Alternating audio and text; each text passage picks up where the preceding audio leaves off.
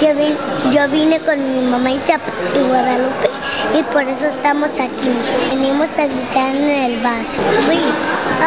nine El pueblo unido jamás será vencido.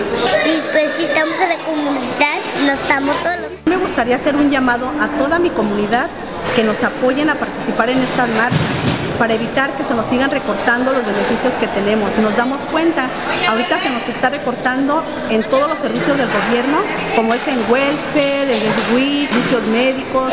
No solamente es una cosa, son varios los puntos que tratamos y yo quiero y me gustaría que así como yo siento en mi corazón el deseo de luchar y de lograr lo que yo quiero, que toda la gente unida lo hagamos, porque si no hablamos, estamos callados. Lo que yo quiero que entiendan es que es que unidos hacemos la fuerza.